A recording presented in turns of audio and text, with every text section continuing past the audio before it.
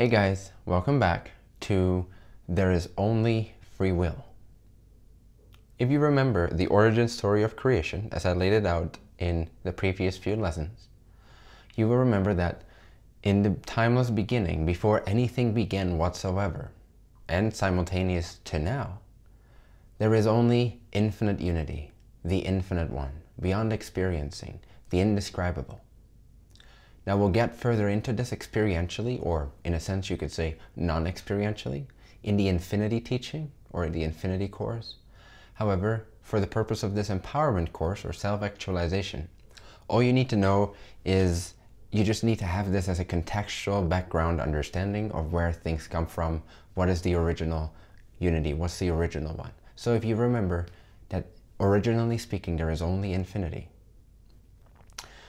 And then infinity desired somehow out of all of its infinite possibilities, being completely undefined yet having no awareness of itself, it wanted to generate awareness of itself. It wanted to generate experience and expression of itself. And so it generated free agency, the not energy, but the freedom of free agency itself. This is synonymous with awareness, or you. So fundamentally speaking, the awareness that's hearing my voice right now, if you tie it all the way back to its most original state, it actually is complete, complete pure free will. And even now in the form of it listening to me in your very condensed physical experience, it still is free will. So what you fundamentally are is actually free agency. It is free will. It is the infinite one's ultimate free agent. That is what you are. That's what awareness is. Now, why is it important to at least to some extent, be open to or accept the understanding or the principle or the universal law of free will. It is because this is the only way for you to lead yourself fully into empowerment, fully from the victim state into the empowered state, from the sheep-like state into the creator-like state. It is the only way to completely experientially and energetically bridge the gap between you and the creator itself and to once again remember what you truly are and to start to become the embodiment of who and what you truly are. You can't, in my understanding and my experience with many people of all kinds of spiritual paths, including spiritual paths that absolutely believe that there is no free will whatsoever. In my experience with all of those people, working with all these people and myself, is that there is no sound way, there is no solid, reliable way to completely empower yourself without understanding this principle of free agency, without accepting that that is a fact. You can gain a lot of clarity, you can gain a lot of self-realization, meaning you can start to realize a lot about the changelessness of awareness and the state of oneness, in a sense. But if you still believe in the idea that you do not have or you are not free will or free agency or free awareness, then that will always there will always remain this energetic distancing between yourself and what occurs, between yourself and the Creator, between yourself and consciousness, between yourself and God, between yourself and creation itself, or life itself. I've never met anyone that believed there was no free will and that did not have any energetic distortions that prevented them from fully accessing the truth and the freedom of who they really are. So it is relatively important that you are at least open to exploring and to becoming a, in a sense, believer, or rather an experiencer of the fact that you are free will itself. So having shared that, let's get into some of the details. There's many different levels of free will. So, and here's where the confusion comes in with the no free will versus free will conversation. And I'll just briefly get into this because there's such a prominent discussion in these philosophical spiritual realms. So let's just get this out of the way real quick so that we can get to what really matters in your everyday life. So free will or no free will? Absolutely speaking, free will, totally free will. This is my experience, this is my expression, and but I'll tell you why. I was one of those believers in no free will for a little while. I was one of those experiencers of no free will for a little while. I experienced myself as pure awareness, and everything that occurred was simply happening as a, an appearance, as an effortless appearance inside of my awareness. That was my self-realized enlightened experience for quite a while. So I experienced myself as not being the doer, as not being the chooser, as not being free will. It all experience, was experienced as everything just happens to me or through me, effortlessly and with no doership, with no chooser. This seemed at the time very convincing. It seemed very convincing because I keep reasserting the same point of view, the same definition, unknowing to myself. I was actually generating out of my own free will generating the state of being that experiences no free will. Such paradox, such power there is in free will to generate things that are not actually true, but then make them experientially real. So I started to notice that because I kept repeating the same thing that I heard from many other spiritual teachers and self-realized gurus, that there is no free will, that there is no doership, that there is no chooser, and that things just appear and disappear all by themselves without me being a part of that process whatsoever, just being the observer of it. Just repeating that point of view, because it is a point of view, we have to admit at least that. It is a way of seeing life. There's many people that don't see that way and that also have a valid experience. So at least if we do believe that there is no free will, we have to admit first of all that that is a perception, that that is a perspective, that that is a point of view of existence. It is a lens, a filter through which we see. It's a definition that we have. It's a statement, there is no free will. The statement is followed by a way of seeing life and experiencing and tasting life. So if you keep repeating to yourself, as I did, that there is no doer, there is no free will, then yes, you can gain the clarity and the liberation from feeling caught up inside of the separate sense of being a doer, which is what many people that are not really awakeness or spirituality oriented are usually caught up in is the sense of stressful doership. And hence spirituality or self-realization teaches that there is no doership so that people can eliminate that sense of stress and start to actually relax out of the condensed, contracted sense of self. In this way, the perspective, there is no doer, there is no free will, is helpful for a little while. It is helpful because it relaxes the tension, the identification with the individuated doer. And it allows you to simply rest this awareness very effortlessly and start to see through your defined filters, but start to experience life as simply a show, a fireworks show of appearances coming and going, coming and going. And if you emphasize the fact that they're simply coming and going, then you can get the experience that you're not really doing any of it. It's just sort of happening outside of your control. And this is a very liberating realization for many people because it lets them off the hook. It allows them to simply rest and not have to worry about what happens because they can't change it anyway.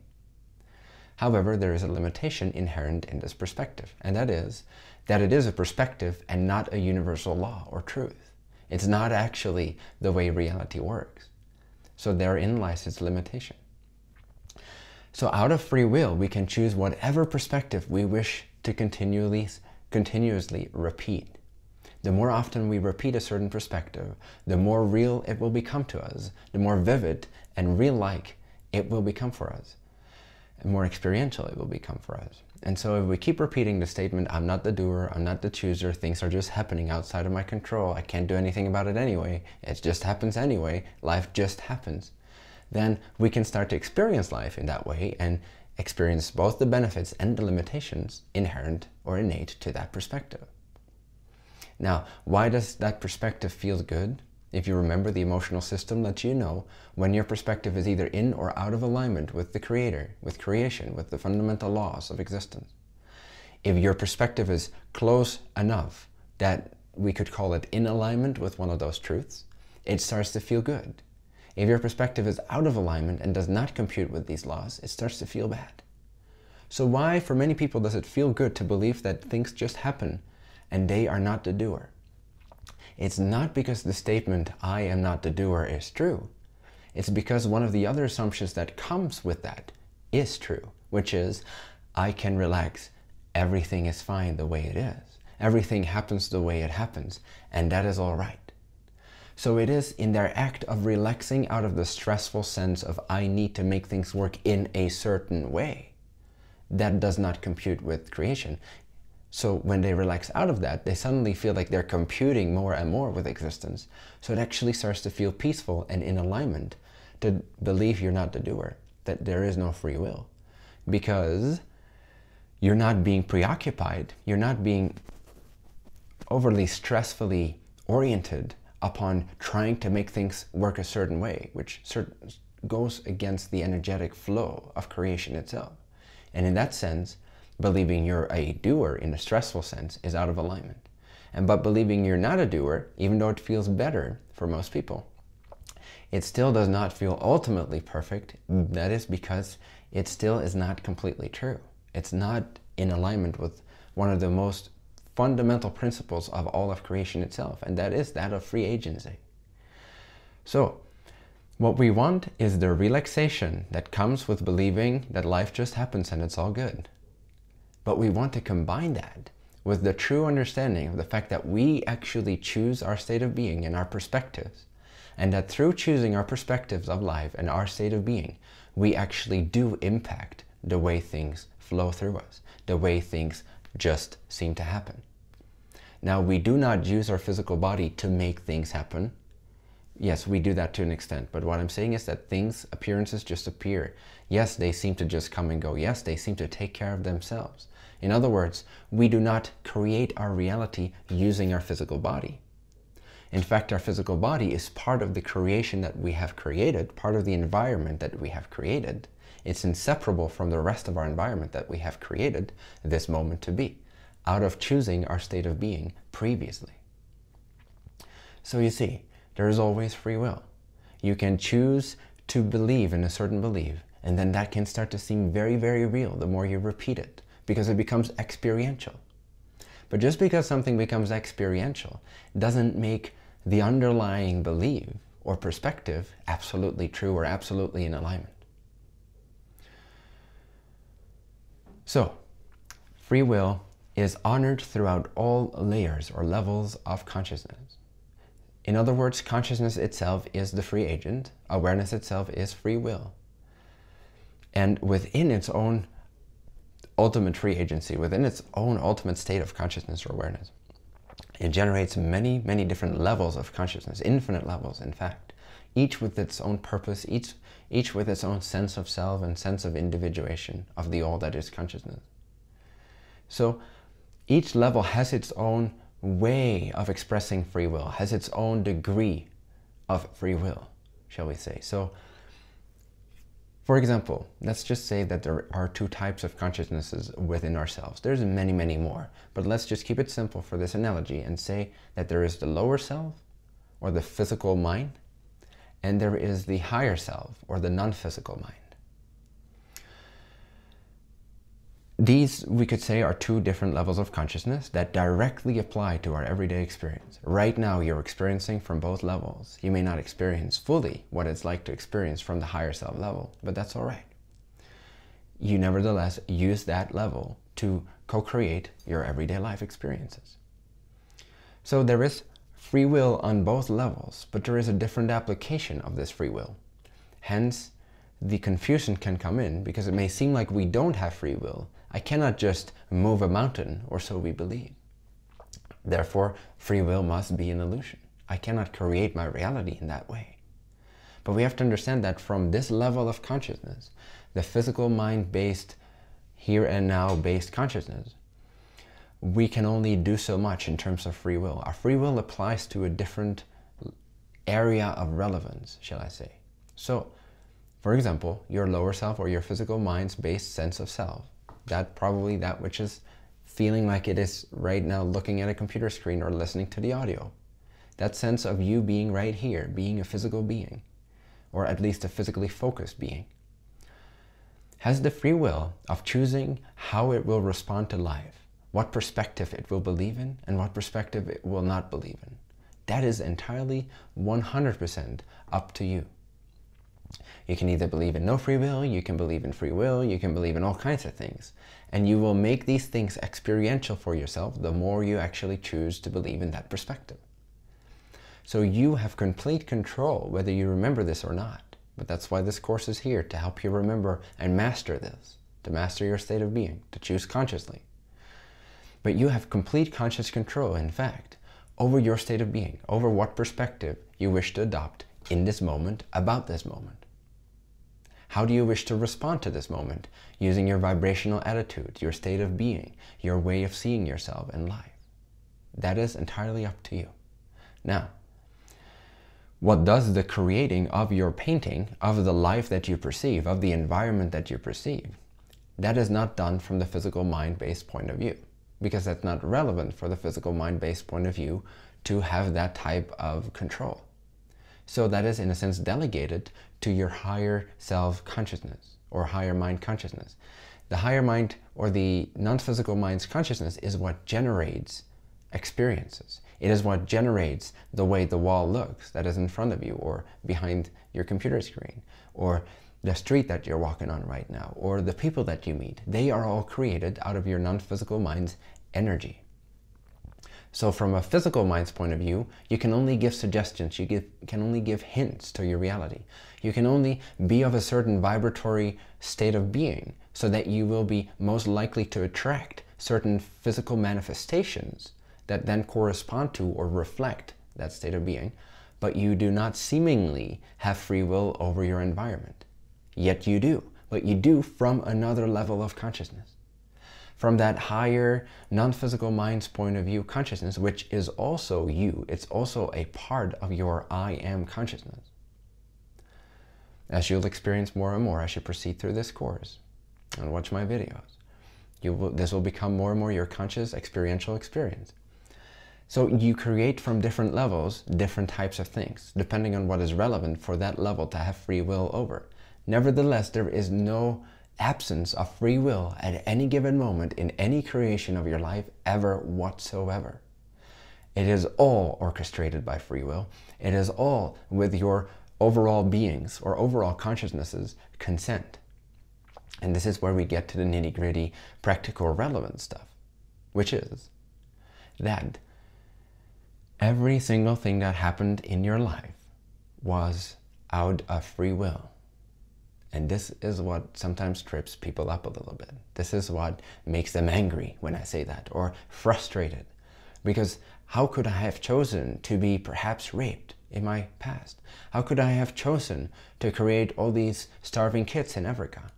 How could I have chosen to create all the, or my, my fall last week that didn't allow me to go on my skiing vacation, etc. So we, we tend to turn us into self-blame and therefore since we don't want to have that experience of self-blame we tend to get angry at the messenger or at the message which in this case is you have chosen every single experience that you've ever had and you will continue to choose every single experience that you'll ever have. There will not be a single experience that you'll ever have that will somehow be orchestrated from someone else or some other type of consciousness that is not somehow you. You have complete control over your life and what happens to you all the time. Things only happen by free will because that is how infinity has structured all of its existence. It has given it the gift of free will being one of its most fundamental laws. In fact, it's the first creation. The first creation is free awareness, free agency, free will, and all else is founded upon this principle. And so even though your level of consciousness at this stage might be in a sense much lower or much less aware of the overall picture than the highest level of awareness which we could say is the all that is consciousness. Awareness of everything that exists all at once, right here, right now. You're not aware of everything that exists all at once here and now because it's not relevant for your particular individuation's theme to explore. Nevertheless, just know that even though there's different levels of, levels of consciousness, and that from one level of consciousness it may seem like there is no free will, and that some things are simply given to you by something else, please know that the something else that has given you that experience is also you on another vibratory level of consciousness. In fact, most of the things that are given to you, not everything, because some of it comes from your own personal unconscious mind and beliefs. That's why you keep generating a lot of things that don't seem to work for you, that don't seem very pleasant, that don't seem very abundant, that don't seem very beneficial. Nevertheless, they are because that's how you wake up to becoming, once again, a co-creator of beneficial, abundant experiences. However, we could say, on a very relative, lower mind's point of view, that you generate things that are not in your best interest, even though from a higher point of view they are because they lead you to the higher point of view. But from the lower level, they seem not relevant to you, they seem not pleasant to you, they seem to be not what you desire, precisely because you have these unconscious ideas and you don't realize the full extent of your consciousness. But nevertheless, most of the things that are given to you are actually directly given to you by your non-physical higher self's consciousness. So in that sense, everything that happens to you, and here's a statement that I want you to digest and absorb and make yours, even if you have frustration towards it, even if you don't fully believe it yet, but I want you to sit with this. And it's the statement that everything that happens in your experience is A, benign in nature or in your best interest. And B, created out of a level of your very own I am soul consciousness. So nothing happens against your will. And everything that happens, happens not only by your own free will on some level of your consciousness, but also out of the highest wisdom for what is actually best for you. You cannot fully feel empowered. You cannot fully feel free. You cannot fully feel supported and safe in this universe if you don't understand that this universe is created by you. If you don't understand that everything that is created for you is created for you by you from a very wise level of your consciousness. Again, except for the stumbling moments that are actually caused by our unconsciousness needing to wake up to itself, needing to become more conscious. But other than that, actually everything, and even including that, like I said, from a higher point of view, it is all orchestrated, orchestrated from your very own soul's free will, your own choice, by your own consent, and in your best interest. It's crucial that you start to, to accept this idea, because if you don't, I have sensed it in many, many people, thousands of people, and it will always linger as a sense of feeling betrayed by the universe, feeling at war with the universe, feeling afraid of your own creation, feeling afraid of your own free will. Oh, what will my free will do next? Because that's not how you see it. You see it as, oh, what will God do next? Or what will life have, have in store for me next? I don't know. It might be bad. It might be good. Who knows? It's probably bad because more so than not, bad things seem to happen to everyone. So we need to get rid of those ideas, respectfully so. We need to transform them. We really do need to illuminate this sense that there is something called not free will. This is not true. It's a universal law that there is only free will. So everything that happens, happens by your own consent, through your own choice. On some level of your consciousness, you need to understand this and start to trust this. If you wish to experience yourself as inseparable from creation, as totally safe, as totally immortal, as totally supported, and eventually even as being the complete creator of your own reality, being the God of your creation, of your universe. And it happens in your best interest because you don't choose experiences from a higher point of view that are not relevant or beneficial to you somehow. Now, how you can improve this is by actually learning the lessons that are given to you, by actually accepting the lessons that are given to you, and know that they all come from this higher beneficial point of consciousness. So, everything happens by free will. No one can ever experience something that they don't agree vibrationally to experience whether that vibration comes from their unconscious mind or from their higher conscious mind. Either way, it is still your beingness, it's still your creation, it's still your free will. It will simply become more and more conscious, and therefore the flow, the dance of your life will start to become more flow-like, will start to become more abundant appearance-like, even though it's already abundant, but you'll create it to look more abundant, to look more beneficial, to look more love and light filled simply because you become more conscious of the fact that every single second you choose your state of being, your perspectives, and through that, you, with your higher self's mind and what is, what is relevant for you, you co-create your every single circumstance and experience. But most importantly, you choose your state of being. You choose the perspective with which you wish to go through life. You choose how you view yourself, how you understand yourself, what you feel about yourself, and how you look at life. That is up to you. That is up to you to clean up, in a sense. Your closet of beliefs is up to you to clean up and get straight and get in alignment with the things that feel good, because what feels good is your guidance compass for what is true. And to clean up your closet of beliefs requires you to become aligned in your perspectives with your higher mind's points of view. So, choose only the perspectives that feel good. Examine the perspectives that make you not feel good and ask yourself, why do I believe in that? Is that really true? Does it still serve me to believe in this? Obviously, it doesn't feel good, so it must not be true. And when you feel good about a certain way of seeing, then that must be true. So then fully give yourself permission to accept the fact that your higher mind agrees with your state of being presently, with your perspective. It is in alignment. You stop arguing with your higher mind's or your higher self's mind, and you start to become in alignment with it. Live and see as it sees.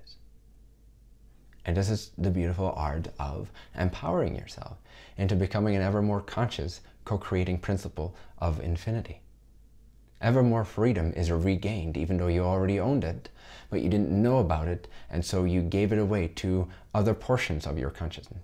But now you can re-embody more and more of your free will and actually start to experience yourself more and more as a living God, as a living co-creating principle, consciousness. And it's beautiful. There's nothing more profound than to experience yourself so inseparable from the Creator itself that you realize you are the Creator yourself. It's worth it. Explore this idea. So, the homework for this lesson is to sit down for 10 minutes, at least twice before you open your next lesson, and simply contemplate the fact that everything that ever happened to you somehow happened out of free will and out of being beneficial for your overall expansion and growth and for the theme that you chose to explore in this life. Somehow everything happens by benign free will. Go through some of the experiences that you may not agree with, that you may not consciously have wanted to happen that way, and still somehow find the clarity and the understanding and the acceptance and the surrender that those experiences were generated out of your own higher self's consciousness in combination with your own unconscious reactions and mind. Whatever perspectives you adopted in that moment, your higher self will always have to respect your level of free will. So if your free will says something else than your higher self's free will, it will do its best to get through to you. But if you insist upon your beliefs, it cannot reach you. You will not perceive its guidance. You will not perceive its hints and suggestions. You will not start to live in the flow that is possible for you. So loosen up your insistence. Rest in the presence of yourself. Center yourself. Take those two to five seconds to completely give away all thoughts, all insistence, all of your own personally held beliefs. And as you relax into the center of your beingness, into your I am soul consciousness alignment. From that powerful, centered, peaceful, restful space of being, have a look at your life and believe. Start to see how these things are actually created in your best interest. And believe and know and start to download the feeling that these things are happening by your own consent, consent by your own free will only. That's number one. Number two of the homework is to listen to this lesson again until you feel like you got a good grasp on it before you continue with the next lesson. And as always, I could call this number three, but this is a given with every homework exercise. Simply apply what you've learned to everyday experiences, also outside of your meditation sessions if you do these. Just in everyday two to five second moments, take that pause of mind and clearly recognize that this moment is by free will, that you have the freedom to choose your state of being, that you have the freedom to choose through what perspective you wish to respond to your life, to your circumstances at present. Start to embody this more and more. And I'll see you in the next lesson. Enjoy.